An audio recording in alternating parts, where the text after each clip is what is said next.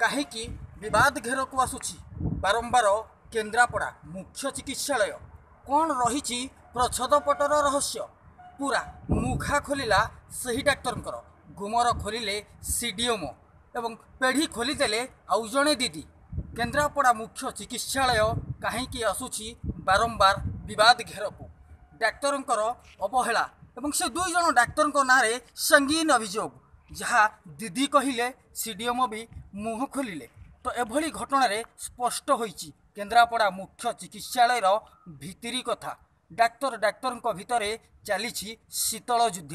ଯାହାକୁ ନେଇ କିଛି ସମୟ ପରେ ଆମେ ଆଣିବୁ ସେମିତି କିଛି ଖବର। ଯେଉଁ ଖବର ଆମେ ପୁରା ଅନୁସନ୍ଧାନ କରିଥିଲୁ ଏବଂ ଗ୍ରାଉଣ୍ଡ ଜିରୋରୁ ଖବର ବି ନେଇଥିଲୁ। ଦେଖିବା କାହିଁକି ବାରମ୍ବାର ବିବାଦ ଘେରକୁ ଆସୁଛି କେନ୍ଦ୍ରାପଡ଼ା ମୁଖ୍ୟ ଚିକିତ୍ସାଳୟ